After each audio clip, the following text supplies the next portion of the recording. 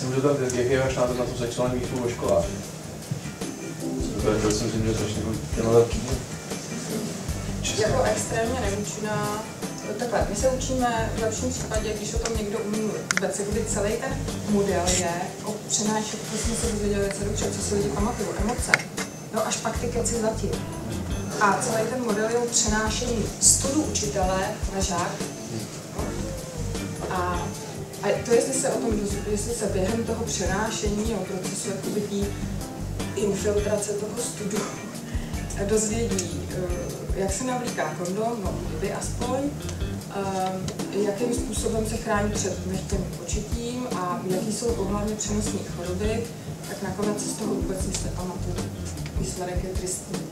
No, to jsou ty negativy.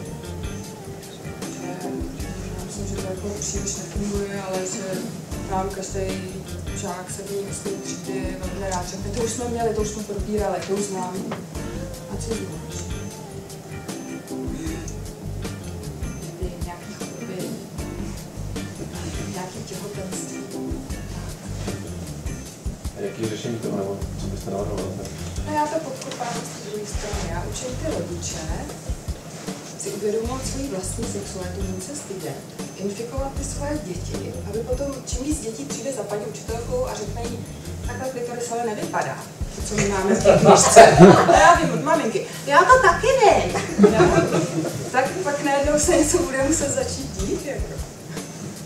Ale to já možná, že se to ještě nedožiju. A učitelé k vám nechodí? Jak?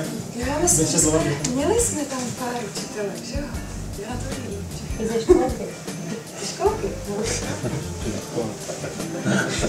No, ono se to říká, tam máme takovou plišovou loutku, vnější že to není nic hnusného, špatného, když se to hezky podá,